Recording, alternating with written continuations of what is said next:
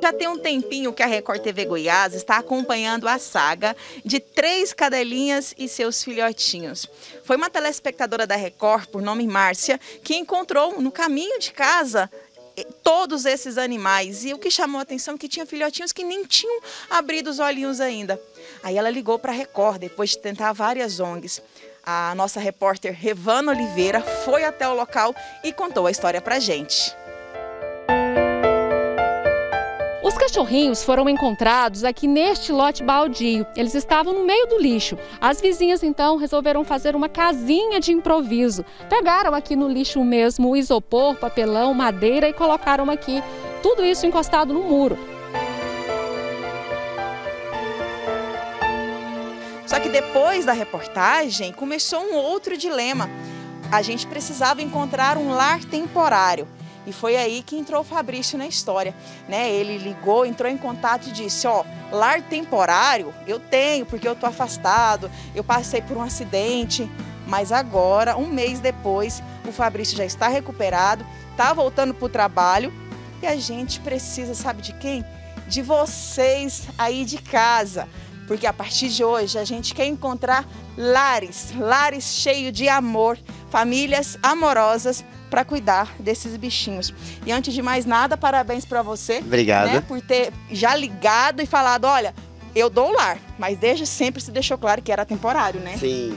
E sem condições, total, doações daqui.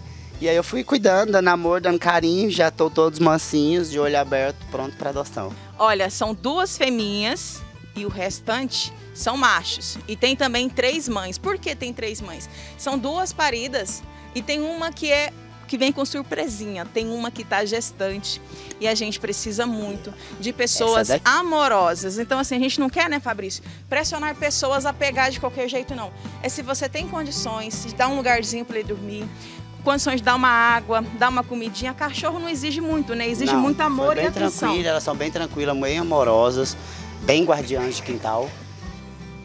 E olha só, e são cada um mais lindinho que o outro. ONGs também que quiserem pegar, a gente, né?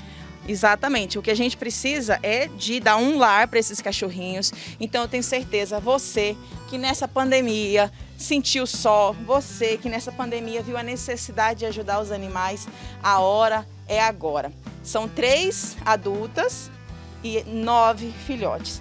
E eu vou dizer uma coisa. Eu vou pegar um negocinho aqui. Por quê? porque a gente vai batizar esses animaizinhos com um nome. Nome que você vai escolher o seu preferido e vai levar aí para casa. Você viu os nomes aqui que eu tenho? Você viu? Não. Vamos descobrir agora. Vamos começar pelo primeiro. Pega o machinho aí desses grandinhos. Cadê? Esse. Olha esse machinho aqui. Esse aqui tem um mês. Então esse aqui é o nosso primeiro que a gente pegou. Olha aqui a fichinha. Eita, nós! Sabe quem é? Esse aqui vai ser o Oloares Ferreira. Vamos botar aqui pra gente saber quem é o Oloares Ferreira. Vamos colocar essa fitinha de cetinha aqui para identificar. É esse que você quer? Tá com vontade de ter um Oloares Ferreira só para você? Eu sei que você quer. Ó, esse aqui é o Oloares Ferreira. Vou colocar aqui, ó. Esse é o Oloares Ferreira. Quer o Oloares Ferreira para você? Quer? Tá aqui, só falar com o Fabrício. Essa é bem charmosa. Que nome que você acha que a gente põe? A minha musa Silvier, né? Então você acha que essa aí é a Silvier? Ela é muito charmosa. Ó, vamos colocar lacinho para Silvier. Então, se você tem um sonho de ter uma Silvier para você, essa é a hora. Essa é a hora aproximadamente aí um mês, um mês e pouquinho. Ó, Silvier Alves, é essa aqui. Você não, se a correntinha esquecer, sumir, você não pode esquecer. Olha isso. Essa é a Silvier. ela já senta. Já, já senta, toda charmosa, né? O telefone do Fabrício está aí na tela. E você quer esse? Você quer esse? Ó, essa mamãezona aqui, maravilhosa. Chama ela de mama. É a mama? Que nome que nós vamos dar para essa mama? Você pode ser Ana Hickman? E você, Adriane Galisteu. Isso. Pode ser Adriane Galisteu, loira, maravilhosa, tá no auge da fazenda. Então, essa loirinha aqui é a Adriane Galisteu, essa aqui é a Ana Hickman e elas podem ir aí para sua casa, que eu tenho certeza. Vou contar que essa oh, dá risada. Essa dá risada? Sim. Então essa vai ser a Tereza, a nossa chefinha, que vive rindo com aqueles dentes maravilhosos, né? Então tá, essa aqui é a Adriane Galisteu, essa é a Tereza e essa aqui é a Ana Hickman. Qual você vai querer levar para sua casa para encher de amor, para encher de carinho? Você pode, ah, eu não tenho condições, mas quero ser madrinha, ser padrinho. Elas precisam ser castradas imediatamente, porque senão a quantidade de animais vai cada vez dobrando e nunca vai ter lar suficiente para todos eles. Então, olha para ver. Então, esse aqui é quem? Machinho. É o machinho? Sabe quem que vai ser? Olha, o que, que você tá pegando aqui? Esse é machinho? Então, ó, vamos dar o nome dele, sabe de quê? Luiz Bate. Ó, Luiz Bate. Luiz Bate é bonitão, né? Ó, estou de olha a linguinha. Ah, é o Luiz Bate. Olha isso, você quer o Luiz Bate pra você? Olhos azuis. Você quer o Bate pra você, meu Deus do céu. Tá aqui, ó. Tá aí o Luiz Bate pra você. E esse branquinho aí já tem nome? Não. Que, que, acha de botar o nome dele de Branquinho? Olha a cara de inteligente, de advogado, de defensor do povo, de guerreirinho da notícia. O que, que, você acha de Branquinho? Pronto. Fechou. Ó, vamos lá, daqui, ó. Branquinho, esse cachorrinho aqui, ó. Gosta do Branquinho? Gosta do guerreirinho da notícia? Então o momento é agora, ó. Esse é o Branquinho você pode levar para sua casa. Tem mais, ó, mais outra aqui. Tem um, eu quero, cadê? Já tá com... Você escolheu esse nome para você? Escolheu. Você escolheu esse nome para você? Escolheu. PH, você quer um cachorro amarelinho? Olha aqui, ó, PH. Paulo Henrique dos Santos sendo homenageado nesse cachorro. Sei que você é fã do PH, porque todo mundo é fã daquele garoto. Ó, tá aqui. Eu quero saber se tem um que tem cara de Fred, Serelepe. Esse aí é o custoso. É. Esse é o Fred. Tem um sonho então um cachorrinho desse? A hora é agora. E ele vai chamar Fred. Olha, esse é o Fred. Pode tirando foto aí da televisão do que você quer e já manda nesse contato que você está vendo aí na televisão para você ter o Fred para você. Já printa e já manda aí, porque esse nome tem tudo a ver. É um guerreiro, igual o nosso amigo. E ó, Fred.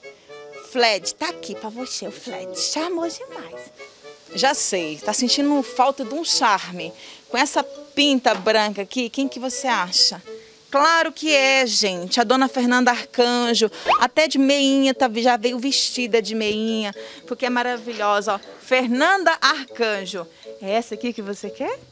Só manda mensagem pro Fabrício. Aqui. Fernanda Arcanjo está aqui. Eu tenho certeza que todos esses animais vão ser uma bênção na sua vida, porque eles são maravilhosos. A casa fica animada, a casa fica alegre. Já escolheu o seu? Qual das mamães você vai ficar? Qual dos filhotinhos, os maiores, os menores? Não importa. Eu sei que seu coração está cheio de amor. O telefone do Fabrício está na tela. É só entrar em contato, falar qual apresentador você quer, qual representante de cada apresentador que você quer. E eu tenho certeza que você vai ser imensamente feliz. Agora, falar de assunto sério.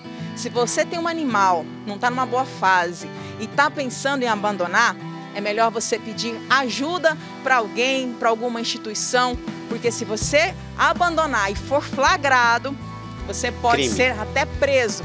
Pode ficar de dois a cinco anos na cadeia. Não abandone seu animal, não abandone seu melhor amigo. Infelizmente, ele não sabe se defender, ele não sabe pedir ajuda e ele morre lentamente nas ruas todos os dias. Ele pode ser agredido, atropelado e outras coisas horríveis podem acontecer com ele. Então a gente pede para toda a população tenha mais paciência.